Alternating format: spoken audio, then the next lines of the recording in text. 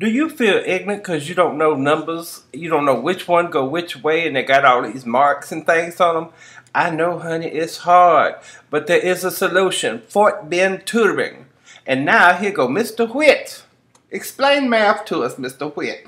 Ladies and gentlemen, this is Mr. Whitt with Fort Bend Tutoring, and today's lesson is going to be about adding fractions. So let's check it out. We have problem number one. Anytime you're trying to add or subtract fractions, you must have the lowest common denominator. You must have a common denominator in order to add or subtract fractions. All right, that's the bottom line. We have a video on finding the least common denominator that can help you out. So check that out, ladies and gentlemen. But we don't even have to worry about that in problem number one. Why? Because both of these denominators are already the same. They're both 18. So remember, anytime you want to add or subtract fractions, you must have a common denominator. And in this problem, we do have common denominators. So let's go ahead and solve it. All you have to do, once recognizing that you have a common denominator, is add the numerators together. So 2 plus 7 is going to give me 9 over that common denominator of 18. The denominator stays the same, which means that you add the numerators together. 2 plus 7 is 9, and the denominator will stay stay the same. Once you've done that, you then must always simplify your fractions. That's right, write it in its lowest terms, reduce the fractions. If you want to check that out as well, we have a video on simplifying fractions. So check that out. I got a link at the bottom of the screen right now as I speak. You see it there? There it is. All right, so reducing this, both 9 and 18 can be simplified by 9. So I'm going to divide the numerator by 9 and I'm going to divide the denominator by 9, and 9 divided by 9 is 1, 18 divided by 9 is 2, and that's my answer, 1 half. Okay?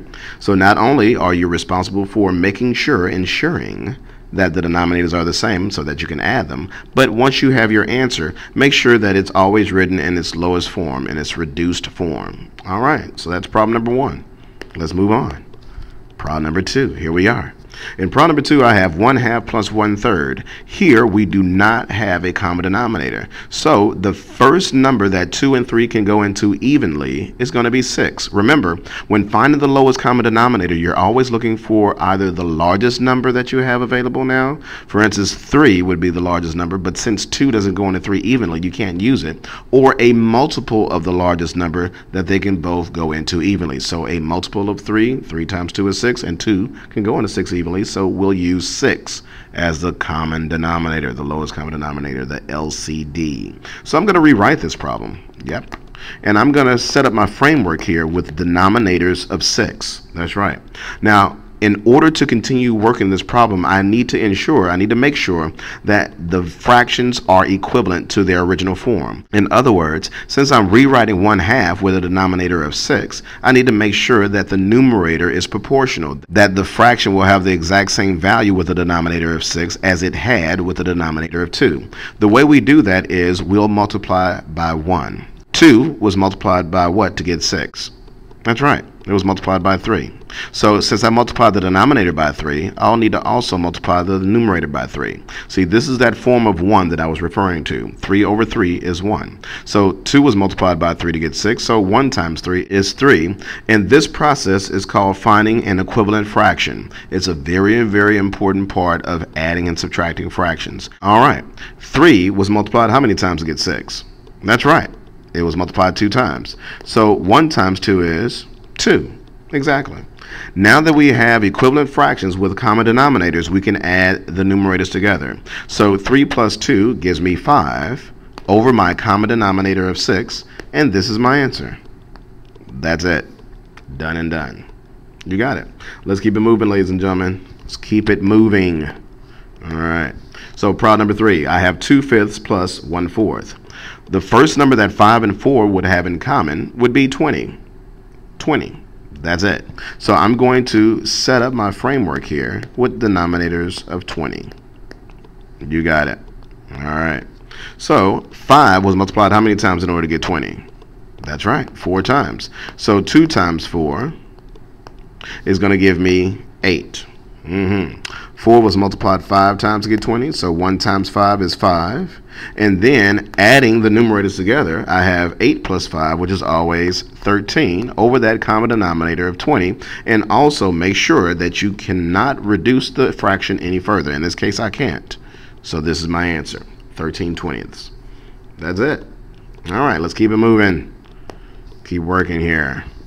Problem number four. I have 3 eighths plus 1 sixth. The first number that 8 and 6 can go into evenly is not 8, but a multiple of 8. That common denominator that we'll need, it's 24. That's right.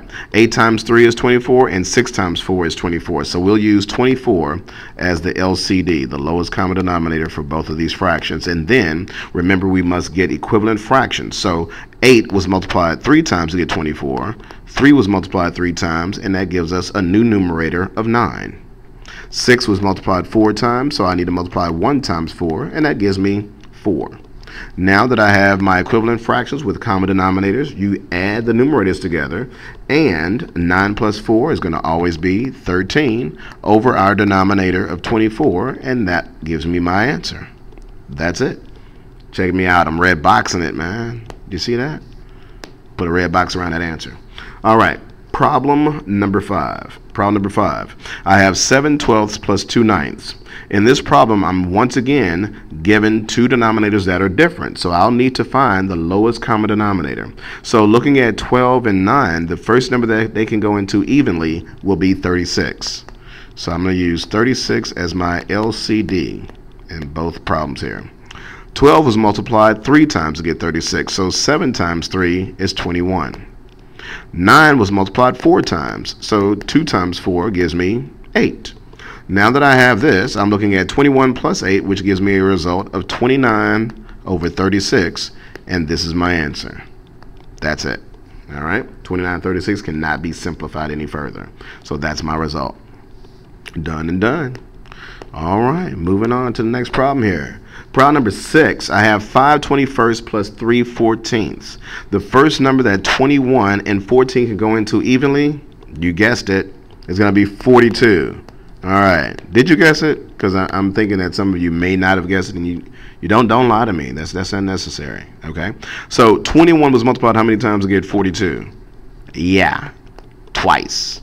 Yeah, so I'll multiply 5 times 2, and that's going to give me 10. 14 goes into 42 three times. So 3 times 3 gives me a result of 9. Once I have this, I simply add the numerators together. 10 plus 9 gives me 19. And that's going to be over my denominator of 42 and done. That's it. All right, so that does it. Got a red box around my answer, 19 over 42. Well, ladies and gentlemen, that does it for this lesson of adding fractions. This is Mr. Whitt Larry Whittington with Fort Bend Tutoring. Please rate, comment, and subscribe. And, ladies and gentlemen, if you're able, please donate. Peace. We certainly hope you enjoyed today's presentation by Fort Bend Tutoring. Did you understand the program? Would you like to rate us or give us some feedback or subscribe to us? You could do all that on tutormemath.net.